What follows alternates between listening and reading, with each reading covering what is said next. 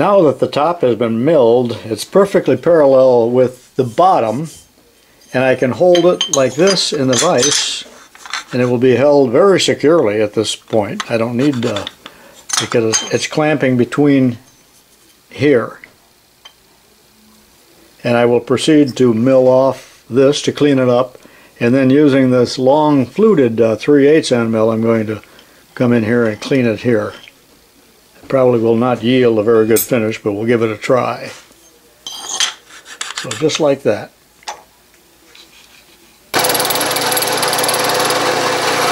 This is my finishing pass, and I'm climb milling now.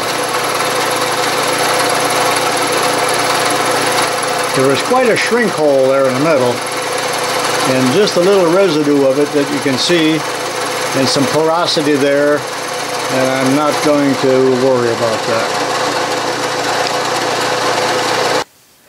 I'm ready to uh, mill the top of the cylinder right here, just clean it up a little bit, but uh, I didn't feel that it could be supported properly just holding it in the vise, but now it could have been held onto an angle plate, but this is just waste stock here and here, and it's sandwiched between the two. And then I've taken the little round and sharp square and put it within the vise here to make sure that the uh, side here of the, the base is perpendicular.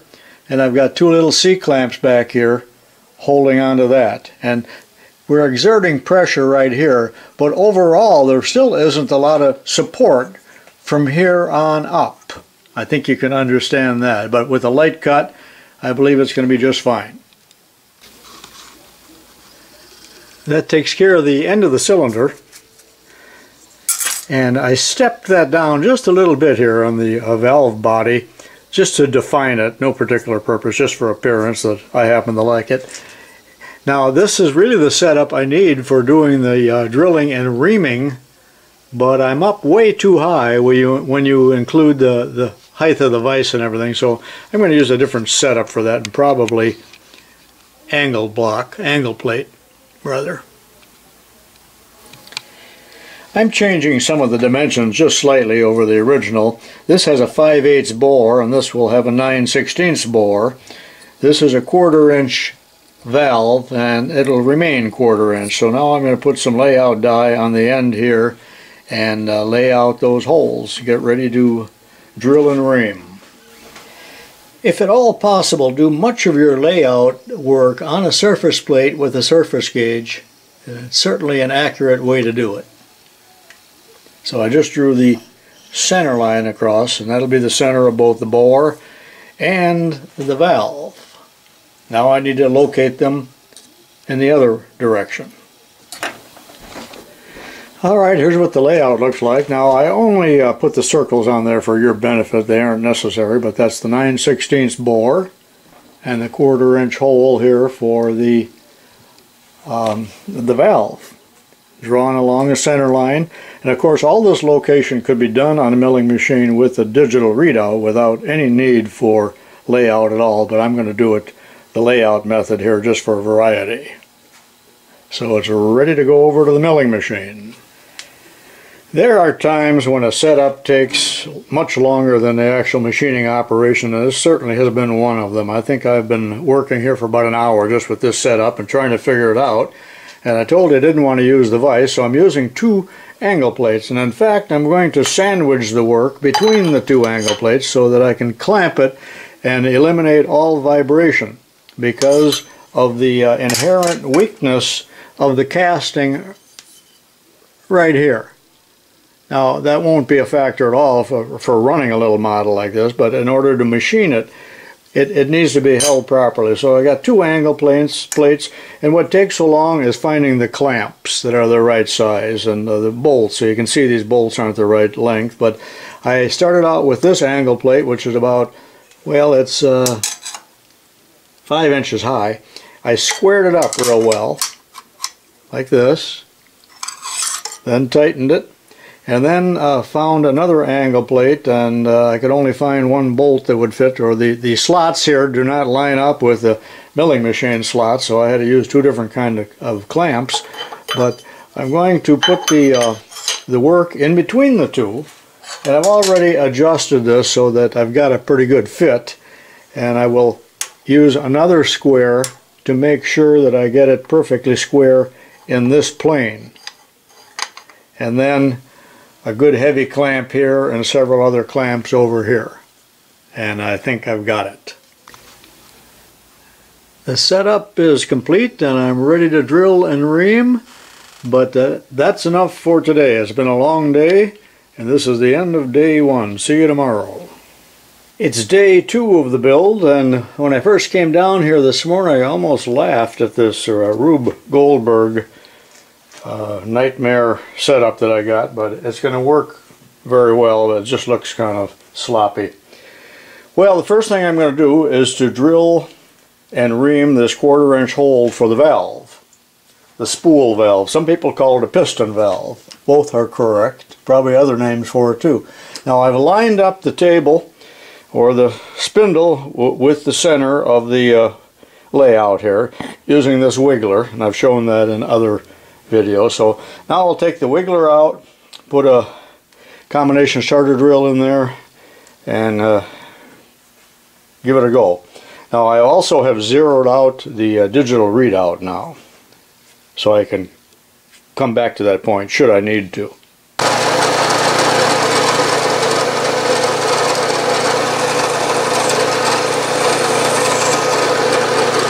And that's all we need. Now I'll put in the 15 64th drill bit and drill all the way through in preparation for the quarter inch uh, chucking reamer. Now it's typical that you would drill 1 64th under the ream size, so that's why I'm selecting the 15 64ths. I won't show the drilling, I'll skip right to the reaming. Now I've got a quarter inch chucking reamer.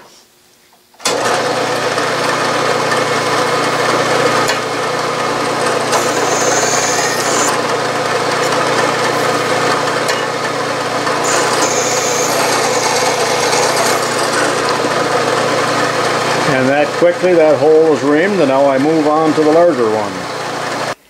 I'm all lined up with the other center punch mark and I'm ready to use the center drill here but before I do let me explain something to you that I was going to drill and ream that hole and I already got my reamers and everything laid out and I changed my mind because I want to do this just a little bit differently than I did the last uh, uh, engine so I'm going to drill this out to one half inch and then bore it to the final size using the boring head just for variety and that'll give a nice accurate hole and hopefully a good finish also.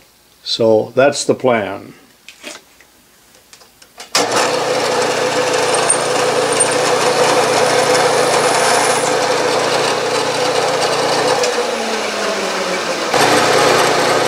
Here's that 15 64th drill again. Uh, that's close enough to quarter inch to consider it my pilot drill.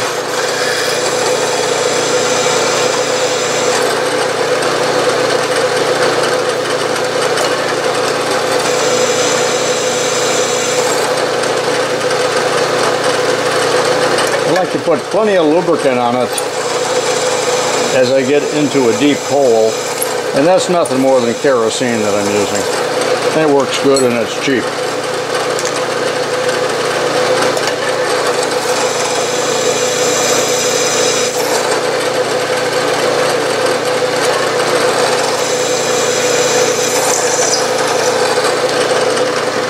And I'm through. And this is the half inch size.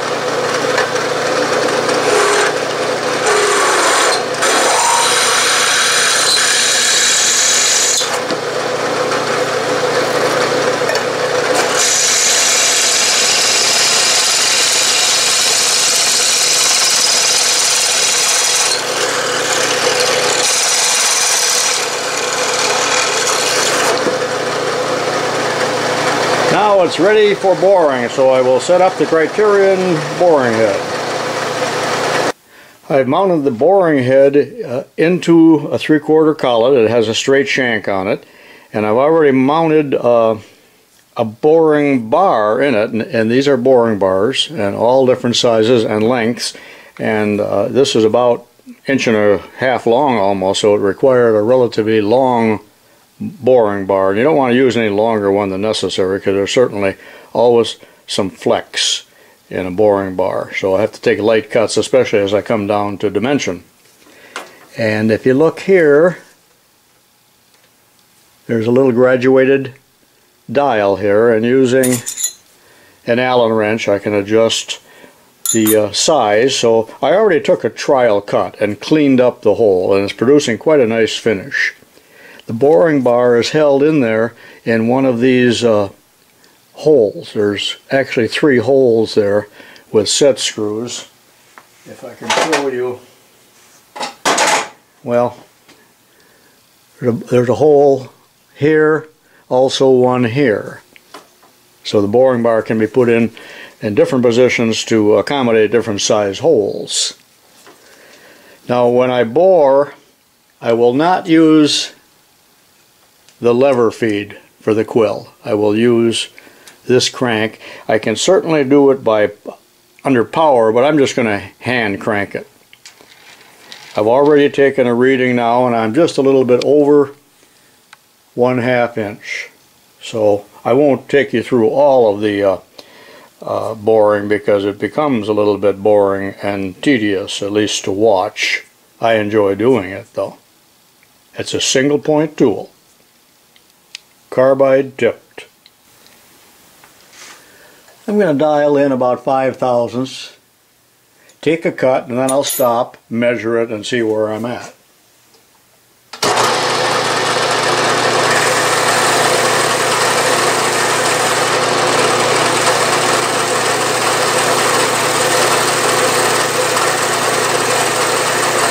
On the very last pass I will feed very slowly and take a very uh, light cut to allow for any springiness in the boring bar. I can also set a stop so that I know how deep I'm going, but since this is a through hole rather than a blind hole, it's uh, not a problem because I can see the boring bar coming through. Also, uh, the chips drop out the bottom, which is nice because I don't have to worry about chips jamming up. In order to measure the hole, I'm using a telescoping gauge I've already set that and just along with a micrometer I'm presently at 425 thousandths and I'm going to take it to 562 now I make my piston to fit the bore so should I be a little bit oversized doesn't really matter because I have to turn the piston down anyway but you can get it right to the thousandth if you want to I'm not going to try real hard here because it doesn't matter the piston will have to uh, fit the bore. I'll take off another, uh, well I've got over 20, I got about 35 thousandths to go, so I'm going to take 10 thousandths off this time. This is about a 10 thousandths cut.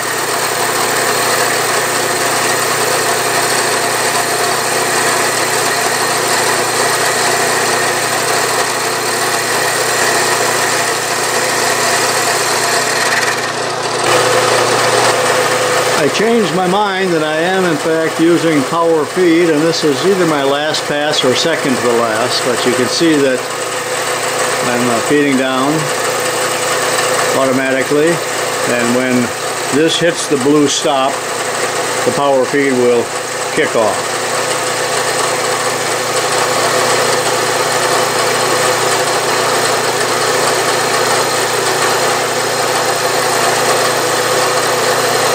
You can see shavings coming out, but it's a relatively light cut.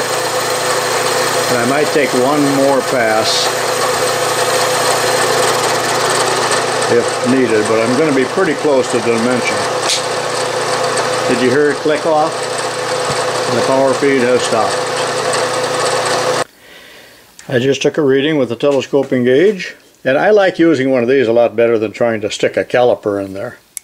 And these are quite accurate too. and I'm right at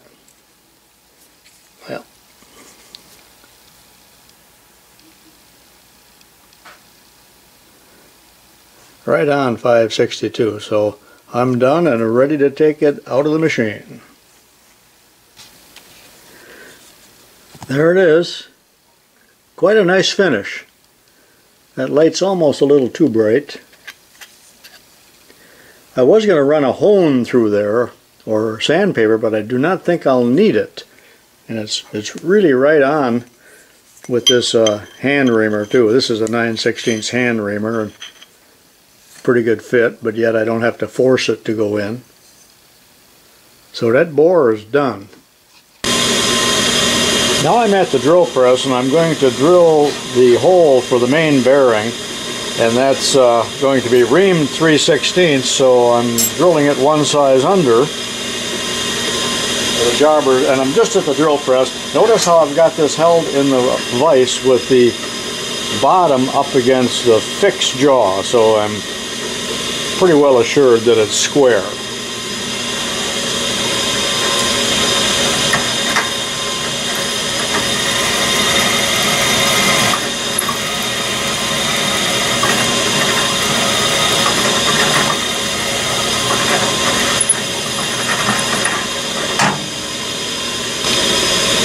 And now I'll ream it 3 16ths.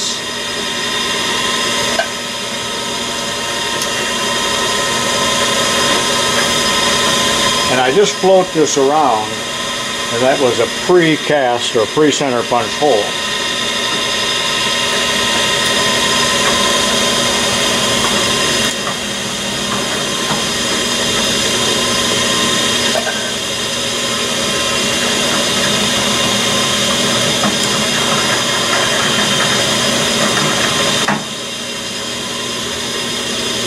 As you can see in this uh, rough casting, that hole was uh, actually cast in.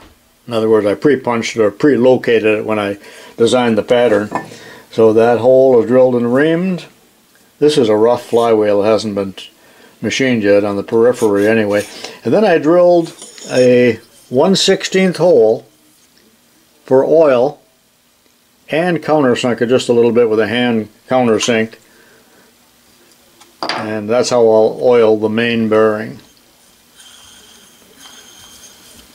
Now it's kind of uh, arbitrary as to what uh, operations I perform next, but I believe what I'll do is make the head for next.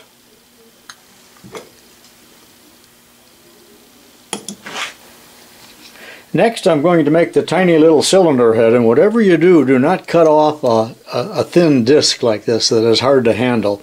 Now when I made this one, if you watch this video, this previous video, you remember that I drilled the holes into the cylinder head first and then transferred them onto the head. Now in today's project, I'm going to do just the opposite. I'm going to drill the holes in the cylinder head and then later we'll transfer them onto the uh, uh, block itself. And I need, again, four holes. It's going to look something like this for number 440 screws, which aren't very big. I'm going to use the rotary table and uh, drill four holes 90 degrees apart. And there'll be no layout necessary for that. So let's go over to the mill where I've already installed the rotary table.